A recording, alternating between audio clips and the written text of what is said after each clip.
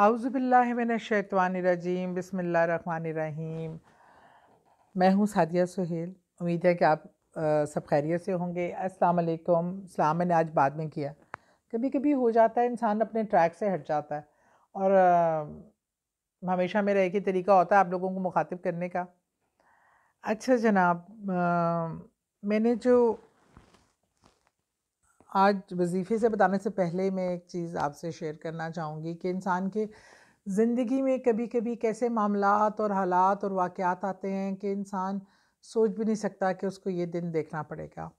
ابھی پچھلے دنوں میرے ماموں کا انتقال ہوا ہے۔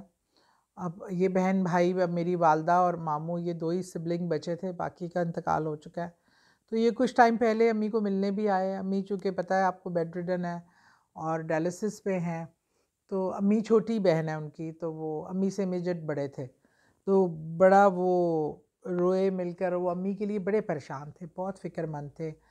اور امی کو کہتے تھے کہ بس میری بہن کو کچھ نہ ہو جائے۔ اور امی بھی مل کے بڑا روتی تھیں۔ اور سب دونوں بہن بھائی کہتے تھے کہ بس ہم دونوں ہی رہ گئے ہیں۔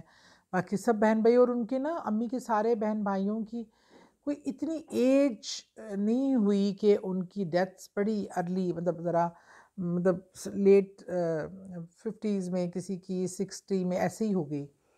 تو وہ بڑا دونوں مس کرتے تھے۔ تو ایک دن لاسٹ، دس ٹیوزڈے ہمیں پتہ چلا کہ صبح صبح ماموں کا انتقال ہو گیا۔ اور ایوری ٹیوزڈے اور فرائیڈے امی کا ڈائلسز ہوتا ہے۔ اور ڈائلسز میں آپ کو پتہ ہے کہ اٹس ڈیفیکلٹ پروسیجر اور اس میں آپ کا بلڈ پریشر کبھی نیچے اور کبھی اس طرح اوپر جا سکتا ہے تو اور وہ بڑا ڈینجرس ہو جاتا ہے۔ تو وہ بہرحال ایسا ہوا کہ ادھر امی کا ڈائلسس کے لیے لے جانا تھا، ادھر امی ماموں کے انتقال کی خبر ملی۔ اب ایسی سچویشن میں امی کا ڈائلسس نہ ہو تو امی کی حالت بگڑ جاتی ہے۔ اس لیے ایک بھائی اور بھابھی بہت ہمت اور نارمل خود کو شو کرتے ہوئے ان کو ڈیلسس کے لیے لے گئے۔ ہم نے یہی ڈیسائیڈ کیا کہ ابھی امی کو نہ بتایا جائے۔ امی کا ڈیلسس ہو جائے تو پھر ان سے بات کی جائے۔ اور ہم جنازے میں چلے گئے اور جو بھی سارا تھا، کر کے دفنا کے تدفین کے بعد واپس آئے۔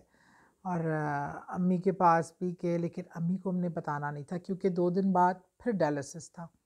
اور اس دوران اگر امی اسٹریس لیتی تو امی کا ڈیلسس پہلے کا اثرا ختم ہونے میں بھی ایک ٹائم لگتا ہے۔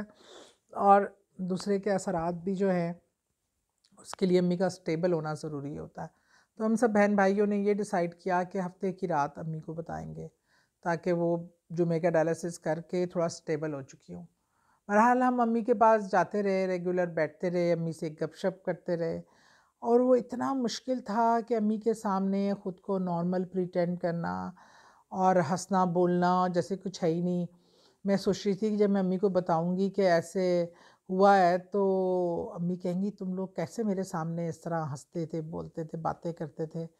اور تم لوگوں کو پتہ تھا، اور بہرحال بڑی بہادری سے یہ میں نے آہستہ آہستہ امی کا مائنڈ اس طرح کہنا کہ ماموں کو ڈینگی ہو گیا ہے، ماموں کی طبیعت ٹھیک نہیں ہے۔ اس طرح کی بات چیت شروع کی تاکہ تھوڑی سی وہ مینٹلی پریپیئر ہو جائے۔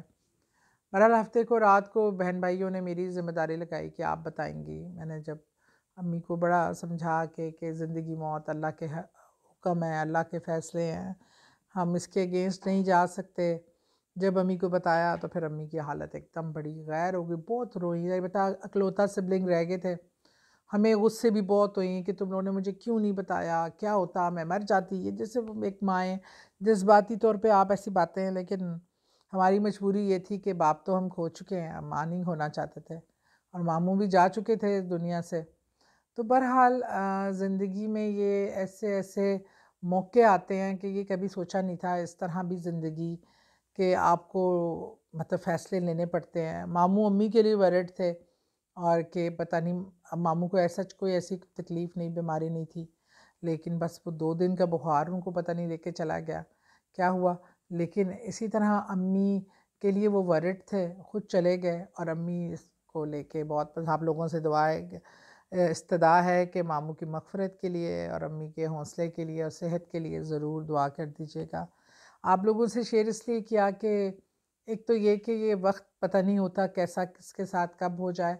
دوسرا یہ کہ اپنی فیملی کے ساتھ ایسے انسان دکھ شیئر کرتا ہے۔ میں آپ لوگوں کو، مجھے اتنی اپنی فیملی رکھتے ہو، اتنا لگتے ہو کہ میرا دل چاہتا ہے کہ میں ہر دل کی بات آپ لوگوں سے شیئر کروں۔ بہرحال دعاؤں کی درخواست بھی ہوتی ہے، اس لیے بھی ایک مشکل فیصلے زندگی کے ہوتے ہیں۔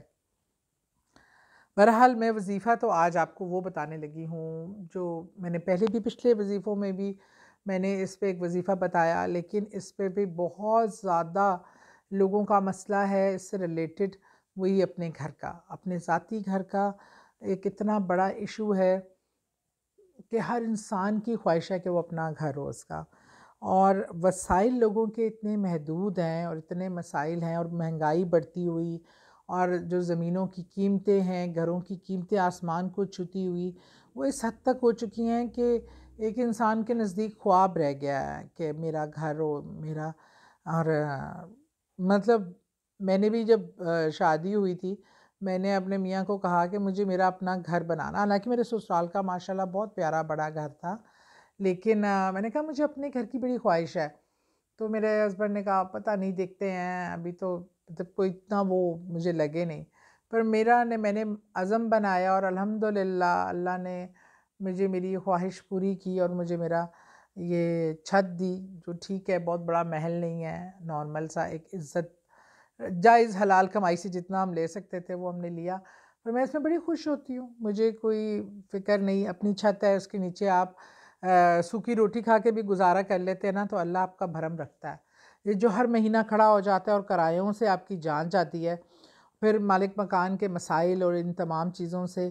تو میری تو دعا ہے کہ ہر پاکستانی کے پاس، ہر انسان کے پاس ایک اپنی چھت ضرور ہو۔ تو اس کے لیے آج کا وظیفہ بہت ہی آسان بھی ہے، بہت ہی اچھا بھی ہے۔ وہ میں آپ سے شیئر کرنا چاہتی ہوں۔ اچھا جی ایک تو یہ کہ ابل و آخر آپ نے اس پر جب وظیفہ پڑھنا ہے تو اول و آخر درود پاک اس کو لازمی پڑھنا ہے۔ اچھا اور یہ کیونکہ ہر فرض نماز کے بعد آپ نے یہ گیارہ مرتبہ آپ نے یہ پڑھنا ہے وظیفہ، یہ اسکرین پہ بھی لکھی آئے گی دعا جو آپ نے پائی پڑھنی ہے۔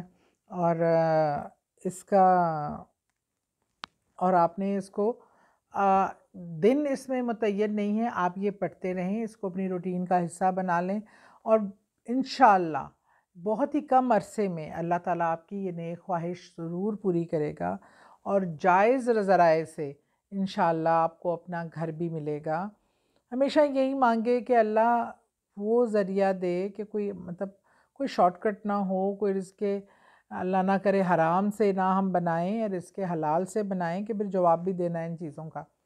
اور اللہ تعالیٰ جائز طریقے سے ہم یہ چیز کا حصول کر سکیں تو آپ نے اپنے ذاتی گھر کے لیے نیت کر کے، دعا کر کے ہر فر نماز کے بعد اول و آخر دو مرتبہ درود پڑھ کے اس کے بعد آپ نے گیارہ مرتبہ جو آپ نے دعا پڑھنی ہے وہ ہے، اللہم ربن ربنا انزلا علینا معیدت من سمائے تکونا لنا عید الاولین و آخرنا و ایات المنکا و رزقنا و انتا خیر الرازقین۔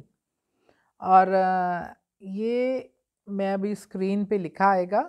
مجھے پتا ہے کہ اس کو آپ نے بے شک وہ پرنٹ آؤٹ نکال لیں یا اپنی اسکرین پہ وہ سیو کر لیں اور اس کو سامنے رکھ کر آپ پڑھ لیجیے۔ انشاءاللہ تعالی، اللہ نے چاہا تو آپ اس کو، اس سے آپ کو اپنا ذاتی گھر کے حصول کے لیے اللہ تعالیٰ آپ ایسے ذرائع پیدا کرے گا کہ آپ اپنے ذاتی گھر میں بیٹھ کر بھی یہ پڑھیں گے ضرور انشاءاللہ۔ دعاؤں میں یاد رکھیں۔